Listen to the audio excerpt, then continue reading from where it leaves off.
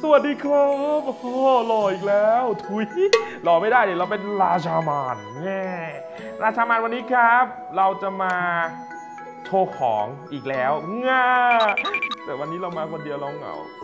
ทุกคนเป็นหวัดตายหาหมดเลยเว้ยทุกคนเป็นหวัดกันหมดเลย โอเค ไม่เป็นไรครับ วันนี้ราชามานครับ เดี๋ยวเราจะมา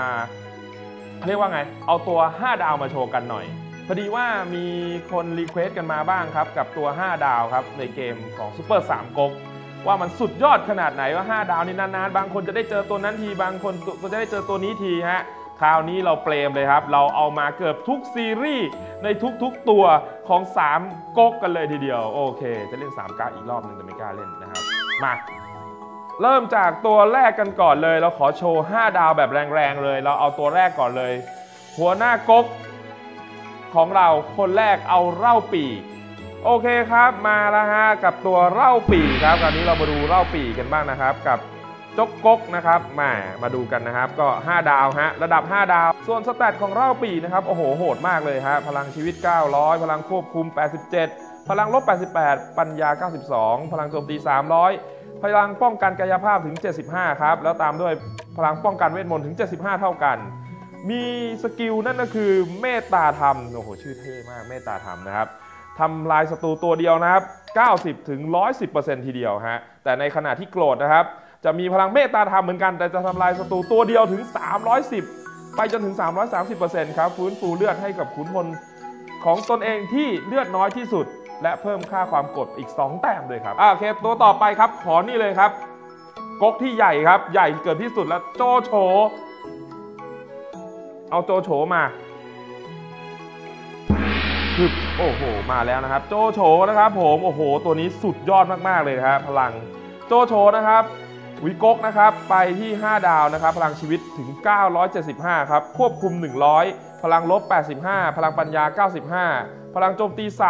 325 ป้องกันกายภาพ 81 แล้วก็พลังป้องกันเวทก็ 81 เช่นกันครับ ส่วนชื่อสกิลชื่อไทยคือคืนใจ อุ้ยยะอย่างกับชื่อเพลง ทำลายศัตรูตัวเดียวเหมือนกันครับ 90 ถึง 110%ครับ แต่พอเป็นพลังความโกรธครับ กลายเป็นบัญชาทั่วล่าทำลายศัตรูทั้งหมดครับตั้งแต่ 70%ไปจนถึง 90%ครับ แล้วมีโอโอกาสนะครับ 50%ความโกรธเพิ่ม 1 แต้มครับ สูงฟื้นฟูความโกรธ4แต้มให้กับขุนพลฝ่ายตนเองครับแต่ยกเว้นตัวของโจโฉเองนั่นเองครับ โอ้โหนี่คือเอาไว้สำหรับกระแทกหน้าใช่ไหมโอ้สุดยอดมากเลยครับ ไปกันต่อครับกับอีกหนึ่งตัวครับ กับอีกหนึ่งก๊กเช่นกันครับ นั่นก็คือซุนกวน โอเคครับมาแล้วครับกับซุนกวนนะครับ โอ้โห อันนี้ก็อีกหนึ่งกองเอ้ยอีกหนึ่งก๊กนะครับ ก็คือ 5 ดาวเหมือนกันฮะแล้วก็พลังชีวิตก็แน่นอนครับ 900 ควบคุม 89 ครับ มีพลังลบถึง 85 พลังปัญญา 91 พลังโจมตี 300 ครับ พลังป้องกันกายภาพ 75 พลังป้องกันเวทก็ 75 ครับ ส่วนชื่อถ้าเรียกว่าพลังชื่อว่าสมดุล หรือแล้วแต่บางคนเรียกสมดุล สมดุลนะครับผมเป็นพลังทำลายศัตรูตัวเดียวนะครับ 90ถึง110%ครับ แต่พอโกรธแล้วจะกลายเป็นคลื่นแค้นสังหาร เป็นการโจมตีแบบเวทครับทำลายศัตรูตัวเดียว 310 ถึง 330แล้วครับ แล้วก็เพิ่มค่าความโกรธอีก 2 แต้มครับแม่รู้สึกว่าหัวหน้าก๊กของแต่ละก๊กนี่มันโหดโหดเนาะโอเคฮะ แค่นี้มันก็อาจจะยังน้อยไปครับ เราต้องโชว์ระดับแบบเอาไปทางไหนดี เอาไปทางเป็นขุนพลแล้วกัน เอาระดับขุนพลที่แบบว่าเราคุ้นเคยกันแล้วกันนะฮะเพราะว่ามันมีจริงๆแล้วตามประวัติของสามก๊กเนี่ยจะมีตัวละครเยอะมาก ขุนพลก็เยอะมากนะฮะ เราเอาตัวที่เรารู้รู้จักและคุ้นเคยกันหน่อย อะ คนแรกก่อนเลยฮะ กวนอูนี่กวนอูครับมาแล้วนะฮะ นี่ก็คือยอดขุนพลนะฮะของเล่าปี่นั่นเองนะครับ อ่า มาฮะ 5 ดาวแน่นอนครับ พลังชีวิตถึง 975 ครับ ควบคุม 96 พลังลบ 98 ปัญญา 85 โจมตี 325 ป้องกันกายภาพ 81 ครับ แล้วก็ป้องกันเวทก็ 81 เช่นกันครับ ส่วนชื่อของสกิลฮะชื่อว่าเทพพยุทธ์โอ้หรือเทพยุทธก็ได้ เป็นการโจมตีแบบกายภาพครับทำลายศัตรูแนวนอน 60-80%ครับ แล้วตามด้วยทักษะโกรธครับมังกรเขี้ยวเซี่ยวจันทร์โอ้โห เป็นการโจมตีแบบกายภาพทำลายศัตรูตัวเดียวครับ 340 ถึง 360%โอ้โห คือเวลาโกรธนี่คือเล็งตัวเดียว แต่เวลาปกติเนี่ยจะตีกว้านว่างั้นเถอะเออนะครับมาเป็นขุนพลคนต่อไปของรอบปีเลยก็แล้วกันครับ เตียวหุย เตียวหุยครับผมโอ้โห นี่สุดยอดมาก ๆ เลยฮะ ก็ระดับ 5 ดาวครับ พลังชีวิต 975 ครับ เท่ากับกวนอู แต่มีพลังควบคุมเพียงแค่ 94 ครับ พลังลบสูงกว่าเป็น 99 ปัญญา 69 โจมตี 325 พลังป้องกันกายภาพ 81 พลังป้องกันเวทน้อยกว่าหน่อยครับเป็น 77 ครับ ส่วนชื่อท่าสกิลชื่อว่าขึ้นพยักมีพลังโจมตีกายภาพทำลายศัตรูแนวนอน 60-80%เช่นกัน แต่พอเป็นพลังความโกรธครับ ชื่อว่า ราชสีคำราม โอ้โห เป็นการโจมตีแบบกายภาพครับทำลายศัตรูแนวนอนครับ 140ถึง160%และลดความโกรธ2 แต้มครับ อ๋อ เจ๋งมากเลยคงลดฝั่งตรงข้ามมั้งเนาะ อะมา ตัวต่อไปเราไปดูทัพใหญ่บ้างครับ ทัพใหญ่ครับ แน่นอนครับ 2 พี่น้องครับ ขอเป็น 2 พี่น้องคนนี้ครับแพรหัวตุนกับแพรหัวเอี้ยนอ่าเอา 2 คนนี้ก่อนนะฮะแพรหัวตุนครับ แน่นอนครับ 5 ดาวนะครับ เป็นขุนพลอีกหนึ่งคนของโจโฉครับแพรหัวตุนครับมีพลังชีวิตถึง 975 ครับ พลังควบคุม 95 พลังลบ 97 มีปัญญาอยู่ที่ 78 ครับ พลังโจมตีอยู่ที่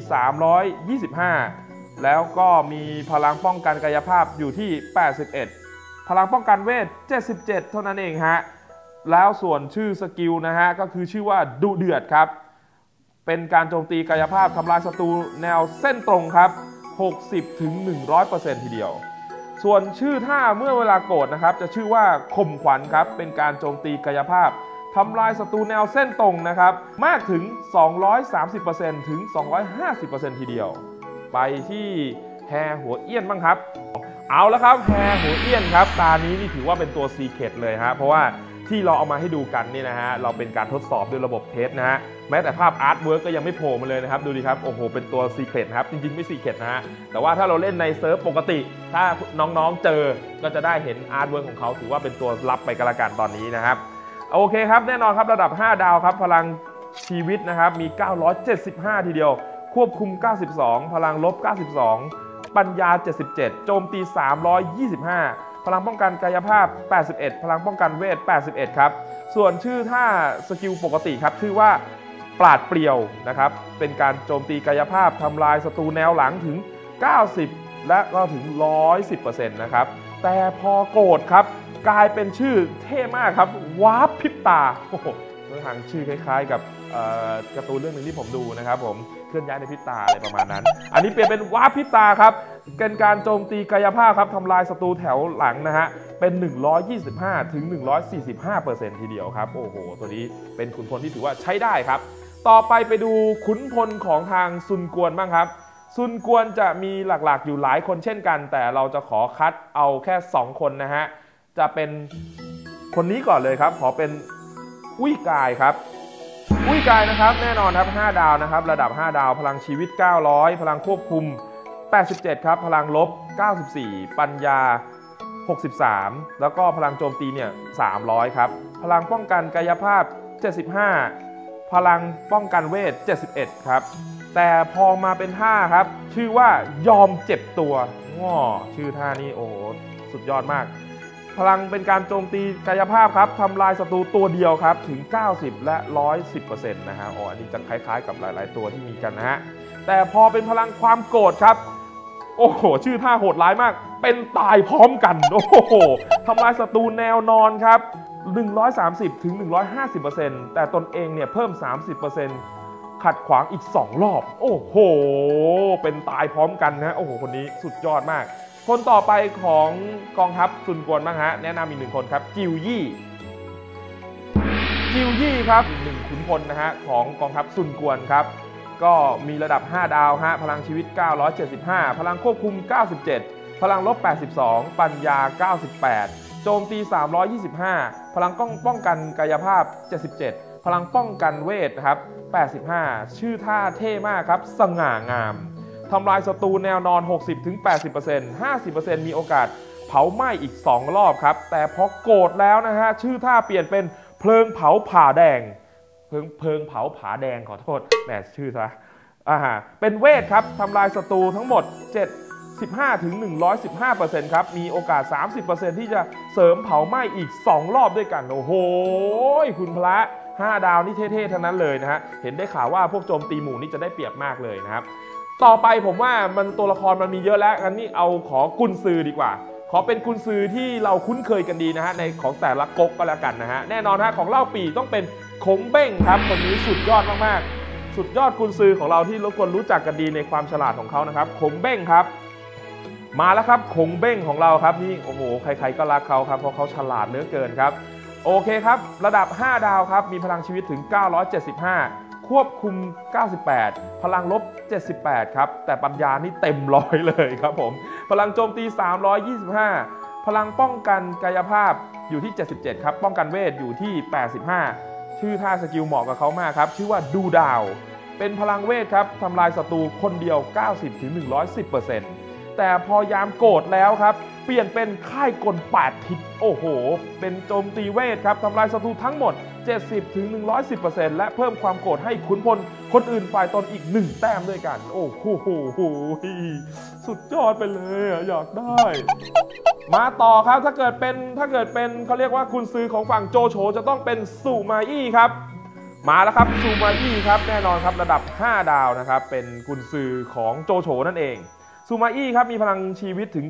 975 ครับ แล้วก็มีพลังควบคุมถึง 8ไอ้98 ขอโทษครับ 98 ครับ พลังลบ 79 ปัญญา 99 โจมตี 325 ป้องกันกายภาพ 77 แล้วป้องกันเวทถึง 85 ครับ ส่วนท่าสกิลนะครับ ชื่อว่าผีฉลาดทำไมต้องผีฉลาดด้วยผีไม่โง่ใช่ไหมเอ่อเป็นเวทครับทำลายศัตรูแนวเส้นตรงครับ 60ถึง100% แต่พอกดเท่านั้นเองฮะเปลี่ยนใหม่ครับเป็นกลยุทธ์ผีเทพโอ้โหตายแล้วฉลาดไม่พอยังเป็นผีเทพด้วย เป็นพลังเวทครับ โจมตีฝ่ายศัตรูครับ 2 คนนะครับ ทุกครั้งที่ทำลายนะครับถ้าทุกครั้งที่ทำลายครับขอโทษครับ 172%ถึง 192%ครับ1ครั้งจะลดค่าความโกรธ2 แต้ม ครั้งที่ 2 จะลดจะเสริมห้ามโกรธอีก 2 รอบด้วยกันครับ โอ้โห อันนี้ถือว่าเขาเรียกว่าเล่นเรื่องสกิล นะครับผมจะมีอันนี้ต้องไป manage เอานะฮะจะมีเร่งทั้งเร่งทั้งลดและห้ามโกรธอีกนะครับ อันนี้ถือว่าเป็นหนึ่งตัวที่น่าใช้มากครับ ไปถึงกุนซือนะครับผมของฝั่งซุนกวนกันบ้างครับ ชื่อว่าลกซุนครับ โอเคครับลกซุนครับระดับ 5 ดาวครับ มีพลังชีวิต 975 ฮะ พลังควบคุม 96 พลังลบ 80 พลังปัญญา 96 พลังโจมตี 325 ป้องกันกายภาพ 77 ครับ แล้วป้องกันเวท 85 ครับ ส่วนชื่อท่านี่โอ้โห ดูสง่าแบบเขาเรียกว่าอะไรนะคนอื่นก็สง่างามคนนั้นคนนี้ คนนี้ชื่อว่าถ่อมตนครับ โอ้โห แต่ทำลายศัตรูเป็นแนวเส้นตรงเป็นเวทนะครับ เส้นตรง 70ถึง90%เชียวครับส่วนชื่อท่าเมื่อโกรธจะกลายเป็นเชื่อมเรือเผาทับ โอ้โห เป็นพลังเวทครับทำลายศัตรูแนวเส้นตรงถึง 220 ไปจนถึง 260%ด้วยกันครับ โอ้โห อันนี้คือขุนพลของฝั่งซุนกวนบ้าง ทิ้งท้ายครับผมขอฝากกับตัวละครที่เราได้ยินเขาบ่อยอีกเหมือนกันนะฮะ แต่ว่าเขาไม่ได้สังกัดก๊กไหนนะครับ ชื่อว่าลิโป้ครับอันนี้ทีมงาน request มาเลยนะครับ ขอลิโป้หนึ่งคนให้ดู จริงๆจริงๆ ไม่ว่าจะเป็นทั้งจูล่งนะครับ โจหยินนะครับ หรือแม้อ่าเขาเรียกว่าแต่ละคนนะครับในแต่ละก๊กเนี่ย ก็เป็นขุนพลระดับเจ๋งๆทั้งนั้นเลย แต่ถ้าเกิดเป็น บางคนที่เราคุ้นเคยดีนี่จะมีรายชื่อที่แบบว่าพลังเทพๆทั้งนั้นเลยฮะโอ้โหลิโป้นะครับเป็นสุดยอดขุนพลนะฮะที่เราเห็นอยู่ตอนนี้นะฮะทีมงานก็แอบชอบส่วนตัวนะครับไปบวก 2 แล้วเรียบร้อยเพราะนั้น stat จะ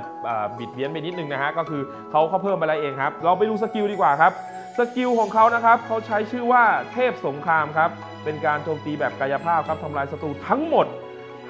50-70%นะฮะทั้งหมดนะครับย้ำว่าทั้งหมดในแถวเลยนะครับ ไม่ได้ในแถวทั้งหมดในจอ โอเค รวมไปถึงพอกโกรธเท่านั้นนะครับ เปลี่ยนเป็นระบำไร้คู่ โอ้โห ชื่อท่า เป็นการโจมตีกายภาพครับทำลายศัตรูทั้งหมด